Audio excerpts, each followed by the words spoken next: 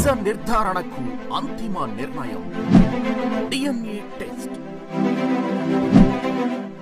ఉన్నది ఉన్నట్లుగా వాస్తవాలను శోధించి వివరించే మన డిఎన్ఏ టీవీ మన రాష్ట్రం మన ఛానల్. కల్పించిన గౌరవ ముఖ్యమంత్రి చంద్రబాబు నాయుడు గారికి లోకేష్ బాబు గారికి కూటమి నాయకులైన పవన్ కళ్యాణ్ గారికి మోదీ గారికి మొట్టమొదటిగా నేను ధన్యవాదాలు నమస్కారాలు తెలియజేస్తా ఉన్నాను.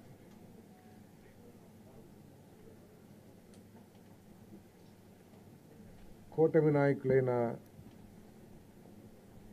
చంద్రబాబు నాయుడు గారు పవన్ కళ్యాణ్ గారు మోడీ గారి మీద అనేక ఆకాంక్షలతో ఎన్నో ఆశలతో చరిత్రలో లేని విధంగా అఖండ విజయం చేకూర్చిన ప్రజలకి కూటమి కార్యకర్తలకి రుణపడి ఉంటానని తెలియజేస్తూ వారి సమస్యల పరిష్కారానికి చంద్రబాబు నాయుడు గారి నాయకత్వాన్ని బలపరచడానికి నేను కృషి చేస్తా అని చెప్పేసి కూడా తెలియజేస్తా ఉన్నాను మరికి పోతే హౌసింగ్ డిపార్ట్మెంట్కి సంబంధించినంత వరకు నిన్ననే రివ్యూ చేయటం జరిగింది. గత ఐదు సంవత్సరాలు ఈ కార్యక్రమం ఏ విధంగా జరిగిందని చెప్పేసి నిన్న రివ్యూ చేశాం. ఇదంతా కూడా నేతి బీరకాయ వైఎస్ఆర్ కాంగ్రెస్ ప్రభుత్వంలో నేతి బీరకాయ సామెత గుర్తొచ్చే విధంగా ఈ హౌసింగ్ ప్రోగ్రాం జరిగిందని చెప్పేసి మీ అందరికీ తెలియజేస్తా ఉన్నాను. ఎందుకంటే రెండు వేల పంతొమ్మిది రెండు వేల ఇరవై నాలుగు మధ్య ట్వంటీ పాయింట్ సిక్స్ ల్యాక్స్ ఇల్లు శాంక్షన్ చేస్తే కేంద్ర ప్రభుత్వం నుంచి పేదవాళ్ళందరికీ ఇల్లు అని చెప్పి అట్టాసంగా చెప్పిన ప్రభుత్వం గత ప్రభుత్వం కేవలం ఐదు పాయింట్ ఆరు పాయింట్ ఎనిమిది లక్షలు మాత్రమే సిక్స్ పాయింట్ ఎయిట్ ల్యాక్స్ మాత్రమే కంప్లీట్ చేయగలిగింది. మిగిలిన పదమూడు పాయింట్ ఎనిమిది లక్షల ఇళ్ళు పూర్తిగా అసంపూర్తిగా ఉన్నాయి. దాంట్లో ఐదు పాయింట్ ఐదు లక్షల ఇళ్ళు అసలు ప్రారంభం కూడా కాలేదని చెప్పేసి మనం చేస్తాం. ఇకపోతే చాలా గొప్పగా చెప్తూ ఉండేవాళ్ళు గత ప్రభుత్వం. అందరూ కూడా మీ అందరికీ తెలిసిందే. పేదల ప్రభుత్వం ఎస్సీ ఎస్టీ బీసీల ప్రభుత్వం అని చెప్పిన గత ప్రభుత్వం గృహ నిర్మాణంలో మాత్రం ఈ పేద వర్గాలందరికీ కూడా అన్యాయం చేసిందని చెప్పేసి మనం చేస్తా ఉన్నా నేను. ఏ విధంగా అంటే తెలుగుదేశం ప్రభుత్వం హయాంలో అంటే రెండు వేల పద్నాలుగు రెండు వేల పంతొమ్మిది మధ్యలో రెండు లక్షలు రెండు లక్షల యాభై వేలు యూనిట్ కాస్ట్గా ఉన్న గృహ గృహం యూనిట్ కాస్ట్గా ఉంటే ఈ ప్రభుత్వం వచ్చిన తర్వాత వైసీపీ ప్రభుత్వం వచ్చిన తర్వాత ఆ యూనిట్ కాస్ట్ని మొత్తం వన్ పాయింట్ ఎయిట్ ల్యాక్స్కి తగ్గించేసింది. తగ్గించటమే కాకుండా రూరల్ కొన్ని అర్బన్ డెవలప్మెంట్ ఏరియాలు అయితే రాష్ట్ర ప్రభుత్వం ఒక్క పైసా కూడా బెనిఫిషరీకి ఇవ్వాల. మున్సిపల్ పరిధిలో మాత్రం పదివేలు మాత్రం ఇచ్చారు. ముప్పై వేలు మాత్రం ఇచ్చారు. రెండు వేల పద్నాలుగు పంతొమ్మిది మధ్యలో చంద్రబాబు నాయుడు గారు ముఖ్యమంత్రిగా ఉన్నప్పుడు లక్ష రూపాయలు రాష్ట్ర ప్రభుత్వ వాటాగా ఈ స్కీమ్ని నిర్వహించారని చెప్పేసి ఈ సందర్భంగా తెలియజేస్తా ఉన్నాను నేను.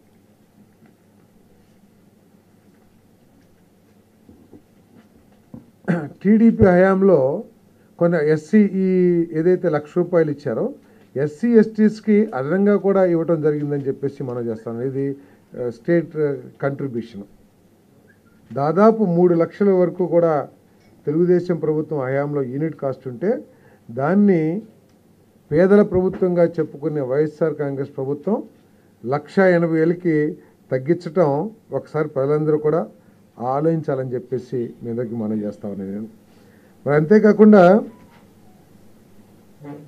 తెలుగుదేశం ప్రభుత్వం రెండు వేల పద్నాలుగు పంతొమ్మిది మధ్యలో పూర్తిగా స్టేట్ ఫండ్స్తోనే రాష్ట్ర ప్రభుత్వ నిధులతోనే నాలుగు పాయింట్ నాలుగు మూడు లక్షల ఇళ్ళని నిర్మించి పేద ప్రజలకు అందించిందని చెప్పేసి కూడా మనం చేస్తాం వైఎస్ఆర్ కాంగ్రెస్ ప్రభుత్వం యూనిట్ కాస్ట్ తగ్గించడమే కాకుండా స్టేట్ కంట్రిబ్యూషన్ని లక్ష రూపాయల నుంచి ముప్పై వేలకు తగ్గించింది. కానీ తెలుగుదేశం ప్రభుత్వం చంద్రబాబు నాయుడు గారు ఉన్నప్పుడు నాలుగు పాయింట్ నాలుగు మూడు లక్షల ఇల్లుని పూర్తిగా రాష్ట్ర ప్రభుత్వ నిధులతో నిర్వహించిందని చెప్పేసి మీ అందరికీ సవినీయంగా మనం చేస్తాను.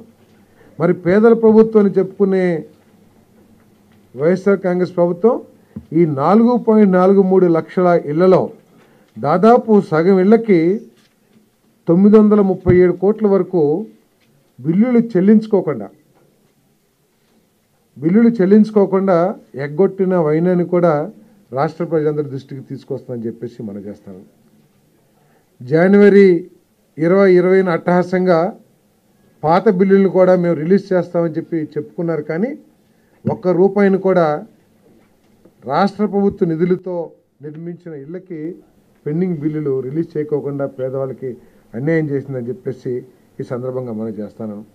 రాష్ట్ర ప్రభుత్వ నిధులు పూర్తిగా రాష్ట్ర ప్రభుత్వ నిధులతో గత ప్రభుత్వం ఒక్క ఇల్లు కూడా నిర్మించలేదన్న విషయాన్ని కూడా మీ దృష్టికి తీసుకొస్తా ఉన్నాను అంతేకాకుండా పద్దెనిమిది వేల ఏడు వందల కోట్లు నూట డెబ్బై మూడు కోట్లు కేంద్ర ప్రభుత్వం ఇస్తే ఇంకా దాదాపు మూడు వేల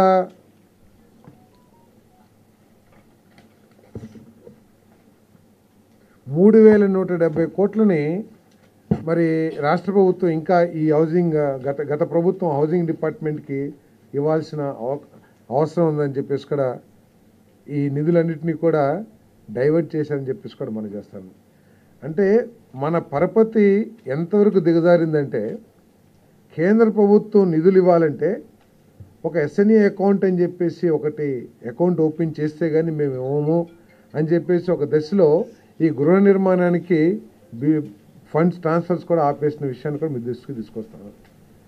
ఇటువంటి డైవర్షను మిస్యూజ్ జరుగుతుందనే ఉద్దేశంతో సెవెన్ పర్సెంట్ పీనల్ ఇంట్రెస్ట్ కూడా ప్రభుత్వం మీద కేంద్ర ప్రభుత్వం వేయటమే కాకుండా దాదాపు ఇరవై ఏడు కోట్ల రూపాయలు మనం పీనల్ ఇంట్రెస్ట్ కూడా కేంద్ర ప్రభుత్వానికి చెల్లించామని చెప్పేసి ఈ సందర్భంగా తెలియజేస్తామని నేను. మరి మా మీద ఉన్న బాధ్యత పదమూడు పాయింట్ ఎనిమిది లక్షలు ఏదైతే పెండింగ్లో ఉన్నాయో ఇల్లులు ఆ ఇళ్ళనన్నింటినీ కూడా పూర్తి చేయాల్సిన బాధ్యత ఈ ప్రభుత్వం మీద ఉందని చెప్పేసి మనం చేస్తాను నేను.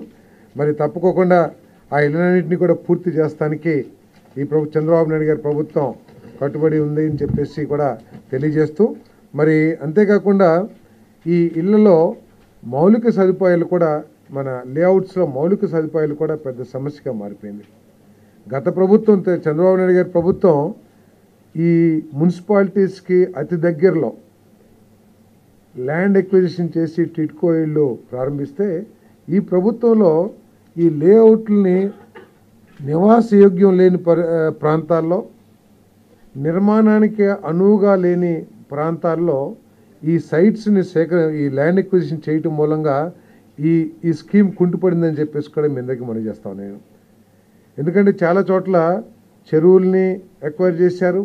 కొండ వాలు ప్రాంతాలని ఎక్వైర్ చేసేసారు శ్మశానాలు పక్కన ఎక్వైర్ చేశారు.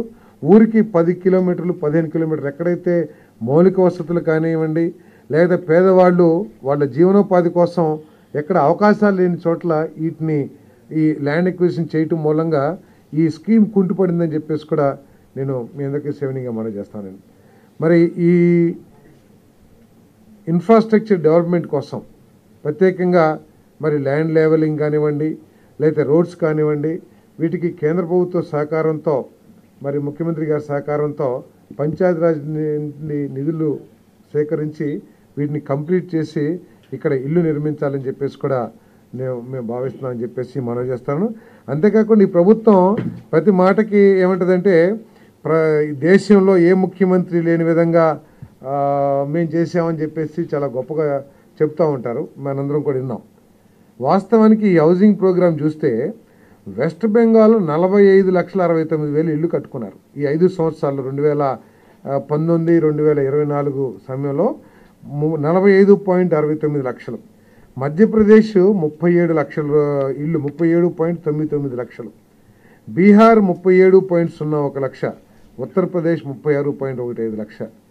బాగా అభివృద్ధి చెందింది ఆంధ్రప్రదేశ్ అని చెప్పుకునే ఈ ఈ ప్రభుత్వంలో మనకి కేవలం ఇరవై పాయింట్ ఆరు లక్షల ఇల్లు రావటమే కాకుండా దాంట్లో కేవలం ఆరు పాయింట్ ఎనిమిది లక్షలు మాత్రమే మనం కంప్లీట్ చేసుకోమని చెప్పేసి మనం చేస్తాను అంటే దేశమంతా పేదవాళ్ళకి ఇల్లు ఏర్పాటు చేసే కేంద్ర ప్రభుత్వ సహకారంతో ఇల్లు ఏర్పాటు చేసే అవకాశం ఉన్నా కూడా ఈ ప్రభుత్వ నిర్లక్ష్య ధోరణి కానివ్వండి నిధుల మిస్యూజు డైవర్షన్ కానివ్వండి దాని మూలంగా ఈ గృహ నిర్మాణ పథకం మొత్తం కూడా కుంటుపడిందని చెప్పేసి మనం చేస్తూ దీన్ని మళ్ళీ గాడిలో పెట్టి పేదవాళ్ళందరికీ కూడా ఇల్లు ఇచ్చే కార్యక్రమాన్ని ఈ ప్రభుత్వం చేయబోతుందని చెప్పేసి మీ అందరికీ సెవెనింగ్ అమలు చేస్తాను. అంటే మిస్యూజ్ అంటే ఇప్పుడు నిధులు ఏ పర్పస్ కోసమైతే వచ్చినాయో ఏ పర్పస్ కోసమైతే కేంద్ర ప్రభుత్వం ఇచ్చిందో ఆ పర్పస్ కోసమే వినియోగించాలనేది కామన్ ఐడియా పరిపాలన. ఎప్పుడైతే ఆ నిధులు సంబంధిత శాఖకి ట్రాన్స్ఫర్ కాలేదో ఆ నిధులు మిస్యూజ్ అయిపోతున్నట్టు దేనికి వాడినా కూడా అది మిస్యూజ్ అయినట్టే. అది ఋషికొండ రాజభవనానికి వాడుండొచ్చు లేకపోతే పథకాలు ఇవ్వడానికైనా వాడుండొచ్చు లేకపోతే కావాల్సిన కాంట్రాక్టర్లకి బిల్లులు చెల్లించుకుంటానికైనా ఇచ్చి ఉండొచ్చు ఏదైనా కావచ్చు. Misuse and diversion misuse diversion జరిగింది కాబట్టే ఇరవై ఏడు కోట్ల పీనల్ ఇంట్రెస్ట్ రాష్ట్ర ప్రభుత్వం కేంద్ర ప్రభుత్వానికి చెల్లించాల్సి వస్తుంది. జగనన్న కాలనీలకు ల్యాండ్ ఎక్విజిషన్ జరిగింది. దాంట్లో అక్రమాలు జరిగినాయని మీరే వాటి మీద అక్రమాలంటే అంటే ఇళ్ళ నిర్మాణానికి అనువుగా లేని ప్రాంతాలని అంటే బాధ్యతారహితంగా కానివ్వండి లేకపోతే ఇక్కడ కట్టొచ్చా లేదా అనే దాని మీద ఒక ప్రాపర్ అసెస్మెంట్ లేకోకుండా ల్యాండ్ ఎక్విజిషన్ జరిగింది. తర్వాత ఇప్పుడు ల్యాండ్ ఎక్విజిషన్ జరిగిన తర్వాత మన అందరం చూస్తూ ఉంటాం లేఅవుట్స్ ప్రైవేట్ లేఅవుట్స్ వాళ్ళు ఏం చేస్తారు? ముందు రోడ్లు కరెంటు డ్రైనేజు ఆ ఫెసిలిటీస్ మినిమం ఫెసిలిటీస్ క్రియేట్ చేసినాక బెనిఫిషరీస్ కానీ కొన్ని వాళ్ళు కానీ వచ్చి కొనుక్కుంటారు. ఇక్కడ ఏమైంది? ఎక్కువగా ఏంటంటే ఈ ప్రాంతాల్లో చూస్తేనేమో మాగాని భూములే ఉంటాయి. మాగాని భూములు తప్ప ఇంకేమి ఉండవు స్థలాలకి. సో మాగాని భూముల్ని మనం సేకరించినప్పుడు దాన్ని ఫిల్లింగ్ కానివ్వండి రోడ్లు కానివ్వండి లేదా డ్రైన్లు కానివ్వండి విద్యుత్ కానీ విద్యుత్ బాగానే చేస్తారు. దాదాపు సెవెంటీ ఎయిటీ పర్సెంట్ కంప్లీట్ అయింది. కానీ రహదారులు డ్రింకింగ్ వాటరు ఈ ఫిల్లింగ్ లేక చాలామంది ఇల్లు కట్టుకుంటలేదు. ఇల్లు కట్టుకున్న వాళ్ళు కూడా ఈ వసతులు లేక తాళాలేసి మళ్ళీ పాత గృహాల్లో నిర్మించే నివసించే పరిస్థితి ఈరోజు ఉంది. కాబట్టి ఇన్ఫ్రాస్ట్రక్చర్ డెవలప్మెంట్ కూడా ఒక పెద్ద ఛాలెంజ్ అవుతుంది.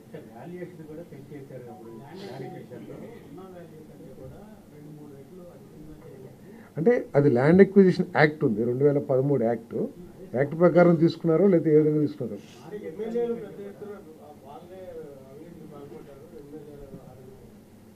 అంటే ఈ ఈ హౌసింగ్ డిపార్ట్మెంట్కి ల్యాండ్ ఎక్విజిషన్కి సంబంధం లేదు. సంబంధం లేదు.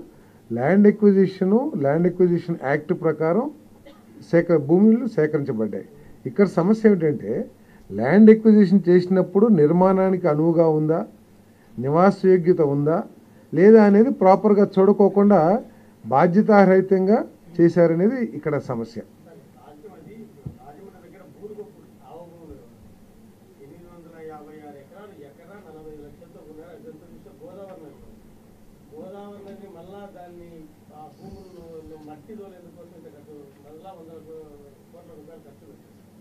అదే అంటున్నాను.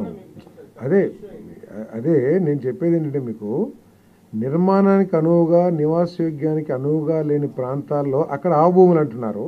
అక్కడ వేరే భూములు తీసుకోవచ్చు. ఇంకా వేరే కృష్ణా గుంటూరు జిల్లాలో అనుకోండి డెల్టా ఏరియాస్ ఉన్నాయి అనుకోండి అక్కడ ఓన్లీ అగ్రికల్చర్ ల్యాండ్సే ఉంటాయి వెట్ ల్యాండ్సే ఉంటాయి.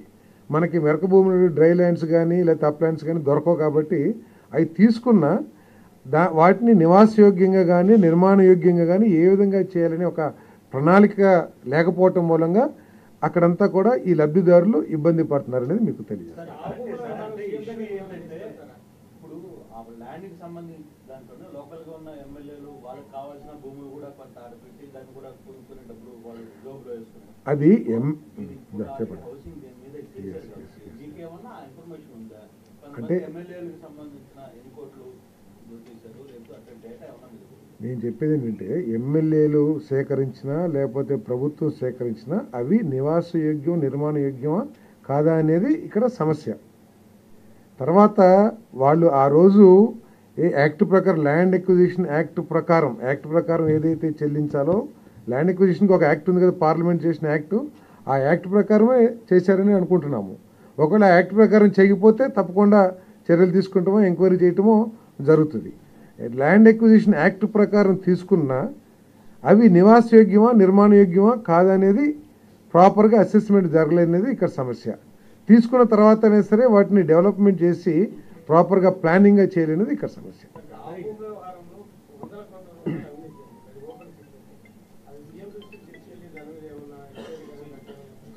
ఏ అవకతవకలు జరిగినా కూడా తప్పుకోకుండా ఎంక్వైరీలు జరుగుతాయి. ప్రభుత్వ నిధులు పేదవాళ్ళ నిధులు మిస్యూజ్ అయినా లేకపోతే నిరుపయోగం అయినా దుర్వినియోగం అయినా తప్పకుండా చర్యలు ఏ విధంగా తీసుకోవాలో ముఖ్యమంత్రి గారితో చర్చించి తగు చర్యలు మారుస్తారా తప్పకుండా ఆలోచన చేస్తారు. ఇప్పుడు ఇప్పుడు దాకా అయితే దాని మీద ఏమి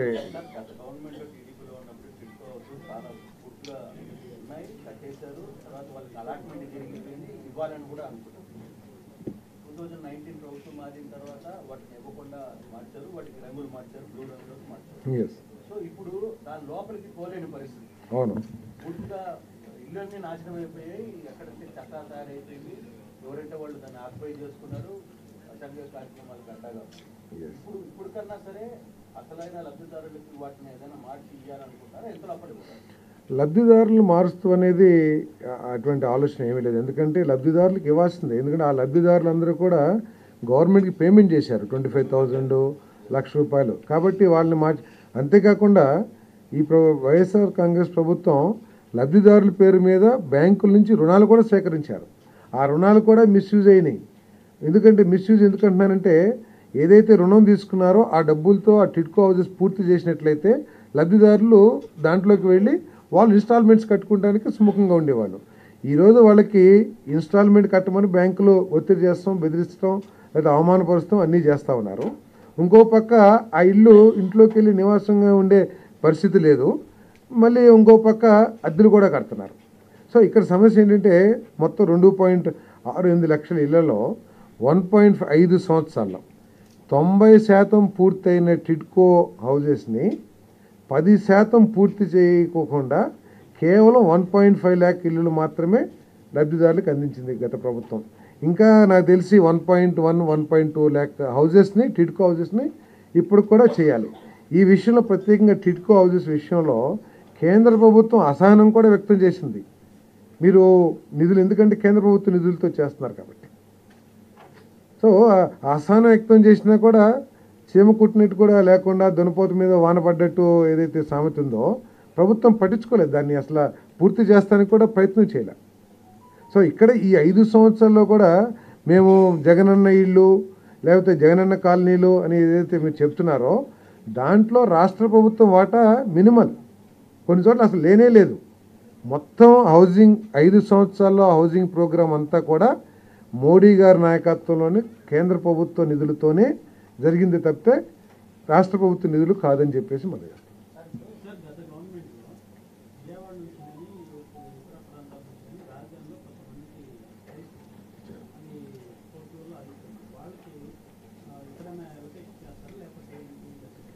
ఇప్పుడు ఎలాంటి అని మీరు చెప్పినట్లు కోర్టులో ఉన్నాయి కాబట్టి కోర్టు కేసులు ఏ పరిస్థితిలో ఉన్నాయి అనేది ఒకసారి రివ్యూ చేయాల్సిన అవసరం ఉంది. సో దాని మీద ప్రభుత్వం ఒక ఆలోచన చేయాలి.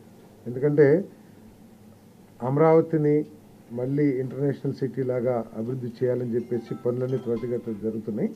సో ఈ కోర్టు లిటిగేషన్స్ని ఏ విధంగా అధిగమించాలి ఇవన్నీ కూడా ప్రభుత్వం ఒక ఆలోచన చేయాల్సిన అవసరం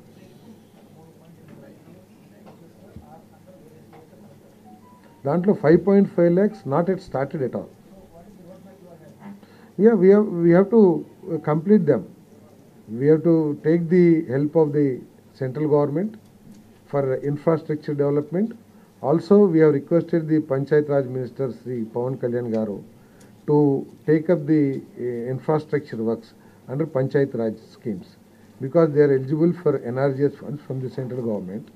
So, uh, uh, rural housing or infrastructure can be done under NRGS and urban housing wherever infrastructure is required in the urban area that can be that requirement can be met through Amrut.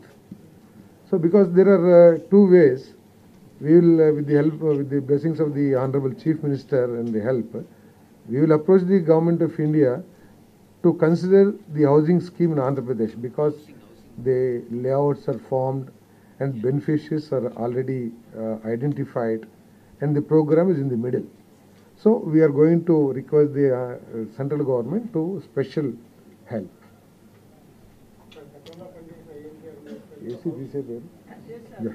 Journalist హౌస్కి సంబంధించి చాలా ఆశలు పెట్టారు చాలా మంది ప్రభుత్వం పోతున్నాయి మీ ఆధ్వర్యంలో మధ్యాహ్నం మేము ఆశిస్తున్నాం జర్నలిస్టులకే కాదు ఆశలు పెట్టింది. అందరికీ పెట్టారు ఆశలు. ఏమైనా అనౌన్స్ చేశారా? సో ఈ నాలుగైదు రోజుల్లో చాలామంది జర్నలిస్ట్ మిత్రులు కనపడ్డారు కలిశారు. వారు కూడా ఈ సమస్యని అయితే కొన్ని కొన్ని సమస్యలు నా దృష్టికి తీసుకొచ్చారు. తప్పకుండా ముఖ్యమంత్రి గారి దృష్టికి తీసుకువెళ్ళి మీకు ఈ సమస్యలు పరిష్కరించడానికే నేను ఎక్కువగా ప్రయత్నం చేస్తానని చెప్పేసి మనం చేస్తాను అదే నేను ఎక్కువగా ప్రయత్నం చేస్తానంటే అదే కదా. ముఖ్యమంత్రి గారిని ఒప్పించడానికి ప్రయత్నం చేస్తాను. సో ప్రభుత్వం అన్ని కోణాలు ఆలోచించి ఏ విధంగా చేయాలనేది తప్పకుండా ఆలోచిస్తుంది. తప్పకుండా నేను ఏదైనా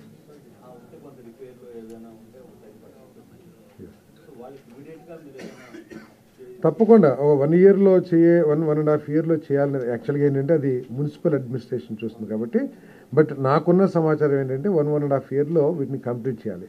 దీంట్లో ఒక మంచి పాయింట్ ఏంటంటే మరి దురదృష్టితో చేశారో ఏం చేశారో ఈ లేట్ అయినా కూడా కన్స్ట్రక్షన్ డ్యామేజ్ అయ్యే పరిస్థితి కాదు. షేర్ వాల్ టెక్నాలజీ ద్వారా ఈ టిట్కో హౌజెస్ నిర్మాణం చేయటం మూలంగా అవి డ్యామేజ్ కాదు టోటల్గా కాంక్రీట్ కాబట్టి. అది బ్రిక్ వర్కో లేకపోతే ఏదైతే బ్రిక్ కొద్దిగా పాడైపోయిన బ్రిక్స్ ఉంటే ఇదే ఇదైపోతుంది.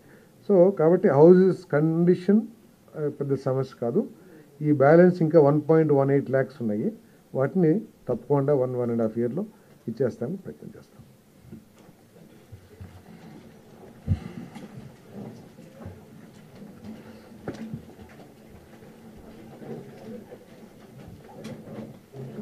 Thank you, sir. I need your cooperation.